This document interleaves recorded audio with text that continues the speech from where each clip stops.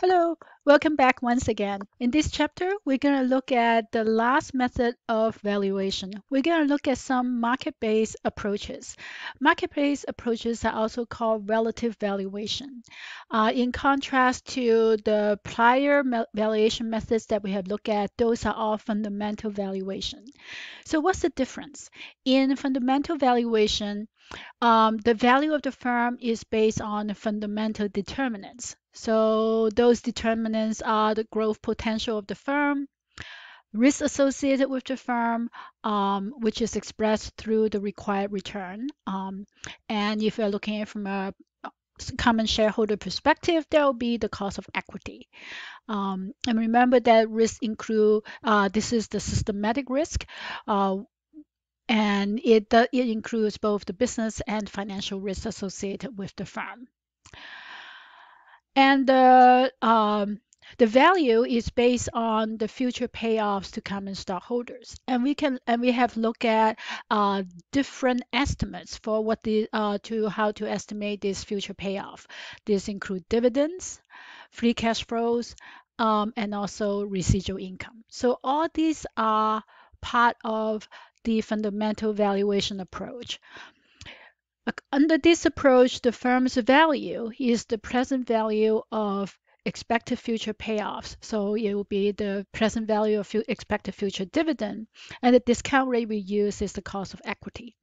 Or using free cash flow, once again, we'll use the present value of free cash flow for common shareholders discounted at the cost of equity.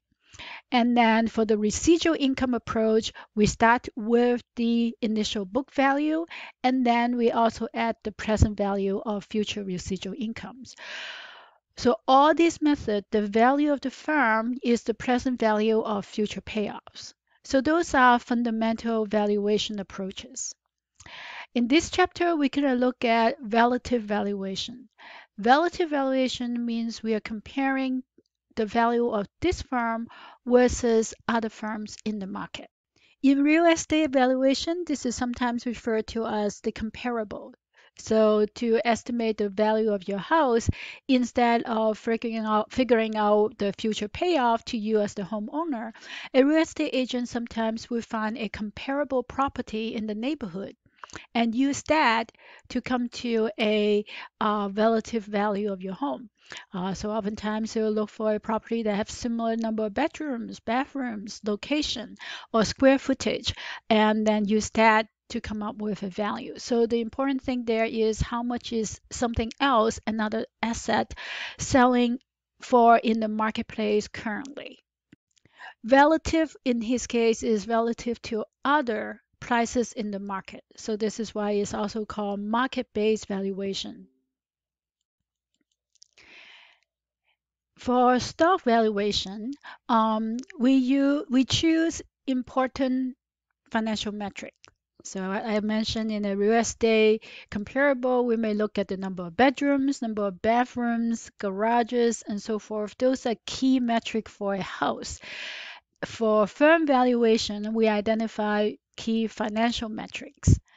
Um, in contrast to the fundamental valuation, the growth potential as well as risk are both embedded in the market multiples.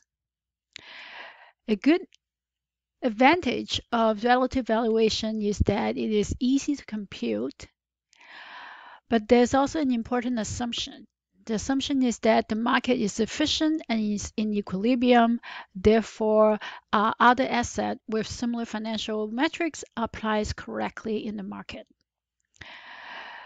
A drawback of relative valuation is that if the entire market is not in equilibrium or is not efficient, um, relative valuation would not be able to identify bubbles or overvaluation or undervaluation. Here are some common market multiples. Um, these are more rule of thumb, and this is what is most popular amongst analysts, but these are by no means the an exhaustive list. You'll see some uh, pattern as we explain each of these. Um, one multiple that is used a lot is called the market to book ratio. It's basically the market value of common equity. Sometimes this is called the enterprise value divided by the book value of common equity. This is the aggregate value of the firm, and this is the aggregate value of book value. More common when we use market multiples, we use per share value. So another way to define the market to book ratio is to take the stock price, so price per share, divided by the book value per share. Uh, book value per share obviously is just uh, value of common equity divided by the number of shares outstanding. Similarly, price earnings ratio or PE ratio, you have heard that a lot. PE ratio is one of the most popular market multiples. Um, and that's defined as market price, or price per share, divided by earnings per share. Ideally, we use expected earnings, but practically, uh, oftentimes analysts will use the most recent earnings. Um, we'll talk a little bit more um, in depth about the implication of that.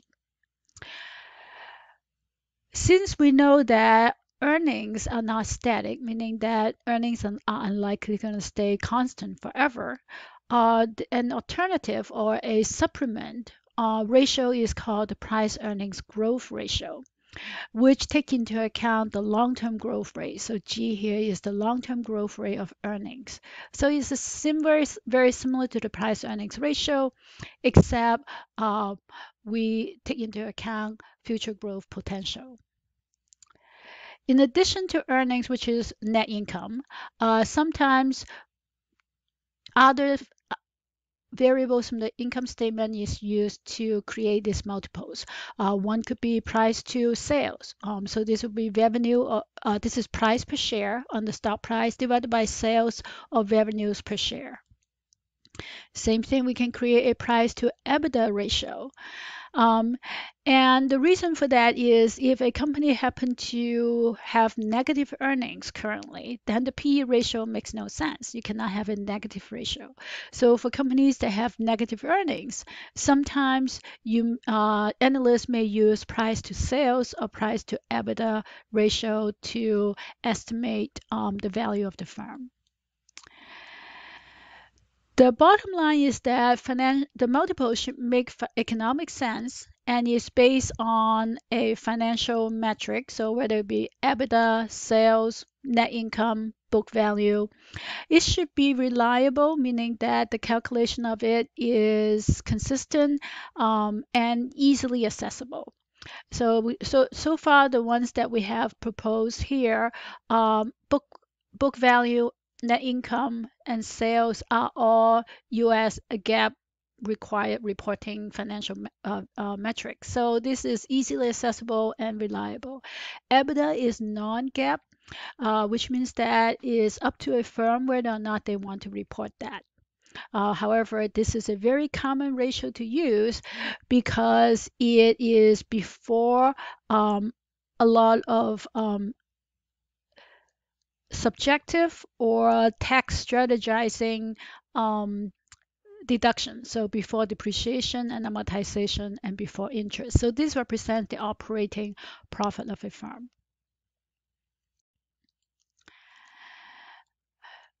Professor Damodaran at NYU have um, collected and tabulated um, market multiples by industry. So you're welcome to go and download and and and see what he's um, what each what the average multiple is for various industry. Here are common multiples uh, by sectors or by industry. Uh, EV stands for enterprise value, so this is the market value to EBITDA ratio. Let's take a look at a couple of industry. Uh, first, let's take a look at pharmaceuticals. So pharmaceutical company has a uh, price uh, to EBITDA ratio of 13.67. Let's compare that to software. Software has a, um, in general, an, a ratio of over 20, so it's much higher. And then let's take a look at um, trucking. Trucking industry has a multiple of 9.93. So what we see is that there's a huge variation in uh, enterprise or price to EBITDA ratio across different industry. We're going to take a look at some of this um, in an exercise ourselves, but in general, you can see that software company has um, higher growth potential and compared to the trucking industry. Um, and pharmaceuticals have high growth potential, but also high risk, and is somewhere in between software and trucking. Before we delve into relative valuation model, as you can see, they're very simple to use, very simple to calculate. What we would like to do before we get before we, we do that is to take a look at how are the fundamental valuation model and the relative valuation model related to each other. So first, let's take a look at the market to book ratio versus the value to book ratio. If the stock markets are efficient and in equilibrium, then the market value should equal to the fundamental value, meaning that the market to book ratio and the value to book ratio will be the same. When we take a look at the value to book ratio, let's, you, let's take a look at the residual income model.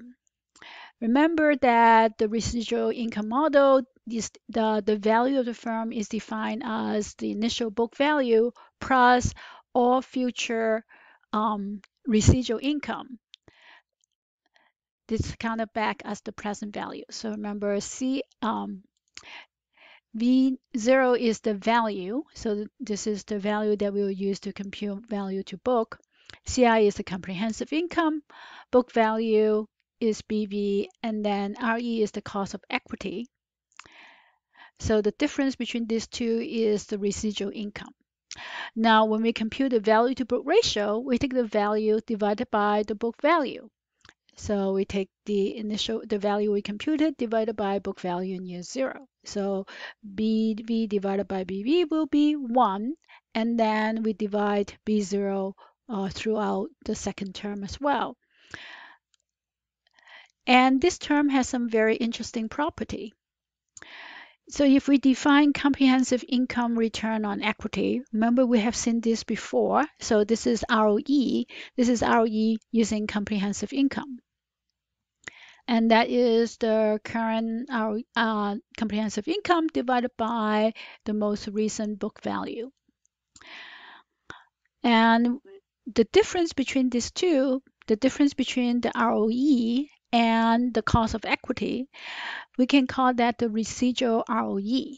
So remember when we subtract the dollar amount, we get the residual income. If you subtract the uh, ROE and the cost of equity, which is which both are percentages, we got a residual ROE. This is the general case. We can also take a look at the limited horizon case. When the forecast horizon is finite, then the value to book ratio has three components. This is very similar to the residual income valuation model. The first item is the value book value divided by initial book value. So initial book value divided by initial book value, of course, give you one. So that's the first component.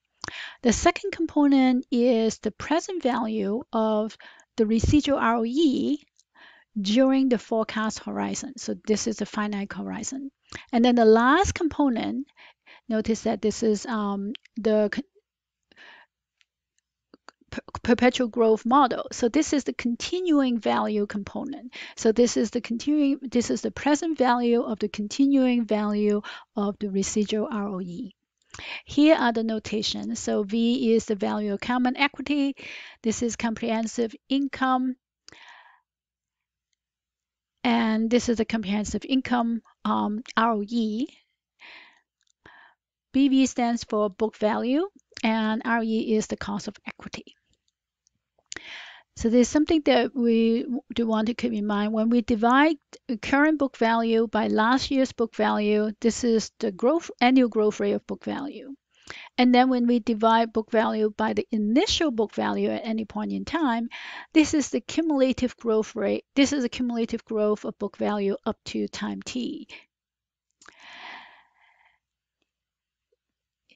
In an earlier chapter, we, we talk about sustainable growth rate. Sustainable growth rate is defined as the growth rate that a firm can achieve with no new external equity and a constant debt to equity ratio. The sustainable growth rate can be approximated by ROE times 1 minus the dividend payout ratio. So basically, um, this is the growth rate that is represented by reinvesting our retain, uh, earnings. We'll end this video here. In the next video, we're going to go over an example. See you soon.